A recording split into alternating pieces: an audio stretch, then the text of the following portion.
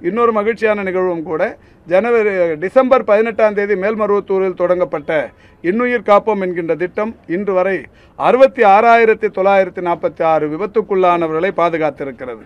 அறுபத்தி ஆறாயிரத்தி தொள்ளாயிரத்தி நாற்பத்தி ஆறு விபத்துகள் நேர்ந்தவர்களுக்கு சிகிச்சை அளிக்கப்பட்டு அவர்களுக்கு தமிழக அரசின் சார்பில் அந்த ஏற்கனவே அறிவித்த நாற்பத்தெட்டு மணி நேரத்திற்குள் ஒரு லட்சம் ரூபாய் இலவசம் என்று அறிவித்த அந்த திட்டத்தின்படி இதுவரை அறுபது கோடியே இருபத்தி ஆறு லட்சத்தி எண்பத்தி நாலாயிரத்தி நானூறு பேருக்கு அந்த உதவித்தொகை வழங்கப்பட்டு அவருடைய உயிர்கள் காப்பாற்றப்பட்டிருக்கிறது.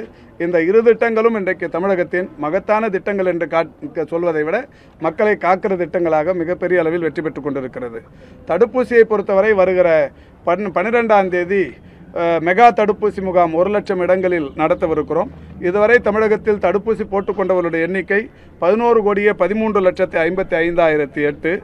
இதில் முதல் தவணை அதை ப- பதினெட்டு வயதை கடந்தவர்களுக்கான இந்த தடுப்பூசி என்பது தொண்ணூற்றி மூணு சதவீத தொண்ணூற்றி மூணு புள்ளி ஏழு மூணு சதவீதத்தை கடந்திருக்கிறோம்.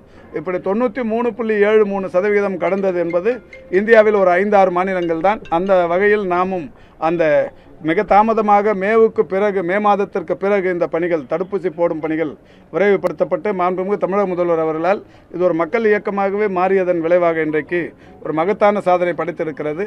இதில் வந்து முதல் தவணை பதினெட்டு வயதை கடந்தவர்கள் என்கின்ற வகையில் முதல் தவணையை பூர்த்தி செய்திருப்பவர்கள் தொண்ணூற்றி மூணு புள்ளி ஏழு மூணு சதவிகிதம். இரண்டாவது தவணை நிறைவு செய்திருப்பவர்கள் எண்பத்தி ரெண்டு புள்ளி நாலு எட்டு சதவிகிதம்.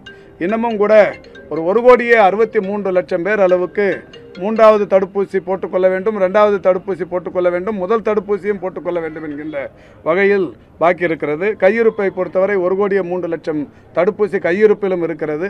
எனவே இந்த ஒரு கோடியே அறுபத்தி மூன்று லட்சம் பேரை இலக்கு வைத்து வருகிற பனிரெண்டாம் தேதி ஒரு லட்சம் இடங்களில் மெகா தடுப்பூசி முகாம்கள் தமிழகம் முழுவதிலும் நடைபெறவிருக்கிறது. மங்கி ஃபாக்ஸ் ட்ரீட்மெண்ட்டுக்கான பயிற்சி இப்போ நம்ம சென்னையில் மட்டும் நம்ம நடத்தியிருக்கோம். ஸோ மற்ற டிஸ்ட்ரிக்ஸில் இதை எப்போ விரிவுபடுத்துறதுக்கான வாய்ப்பு இருக்குது இல்லை எங்கேயும் வரலை. இப்போ முதல்ல தெரிய வேண்டியது ஒரு பன்னிரெண்டு நாடுகள் பிரான்ஸ் ஜெர்மனி இட்டாலி போன்ற பல்வேறு நாடுகளில் ஒன்று ரெண்டுங்கிற மாதிரி இருந்தது. யூகேயில் மட்டும் ஒரு இருபத்தி மூணு பேருக்கு வந்திருக்கு. இப்போ வந்திருந்த எல்லாருக்குமே இது வந்து ஒரு உயிர் பாதிப்புக்குள்ளான விஷயன்ற மாதிரி இல்லை. முதல்ல இது மாதிரியான தொற்று எங்கேயாவது வருதுன்னா அது தென்னாப்பிரிக்காவிலிருந்து தான் தொடங்கும். ஆனால் இது வேறு மாதிரியாக இருக்குது இன்னொன்று இது தொற்றும் கூட இல்லை. இது அதனால் நம்ம இந்த மேற்குறிப்பிட்ட இந்த நாடுகளை விமான நிலையங்களுக்கு இன்டர்நேஷ்னல் ஏர்போர்ட்ஸுக்கு அத்தாரிட்டிஸுக்கு வந்து நம்ம அனுப்பியிருக்கிறோம். இந்த நாடுகளிலிருந்து வருபவர்களை பரிசோதிக்க வேண்டும் என்று சொல்லியிருக்கிறோம். பரிசோதனை என்றால் அவருடைய முகங்களிலோ கைகளிலோ கொப்பளங்கள் இருப்பது அல்லது இந்த சொறி சிறங்கு மாதிரியான அந்த படை தேமல் மாதிரி கையில் முகத்தில் ஏதாவது தெரிஞ்சதுன்னா அதை அந்த சாம்பிள் எடுத்து உடனடியாக பு புனேவுக்கு அனுப்பணும்னு சொல்லியிருக்கிறோம்.